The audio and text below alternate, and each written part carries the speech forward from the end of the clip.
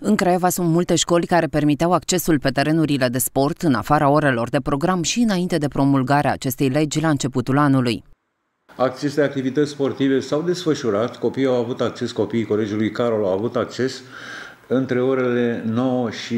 21, în zilele în care lumina a permis desfășurarea activității, deși avem totuși baza sportivă iluminată.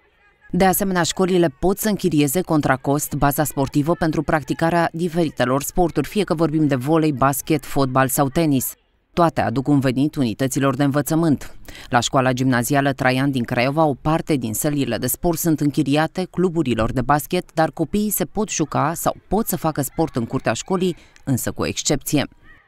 Baza noastră sportivă, toată curtea școlii este disponibilă tuturor copiilor care doresc să facă mișcare sau sport în aer liber,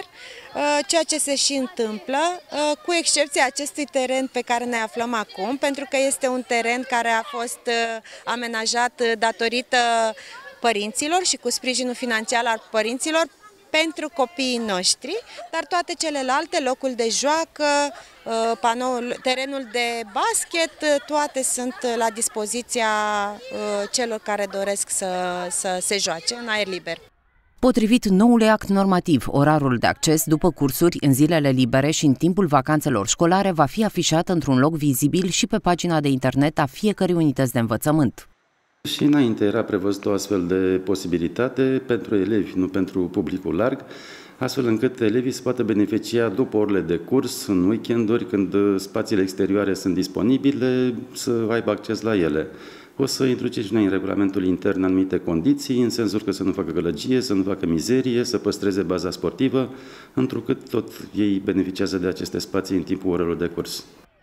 Cu doar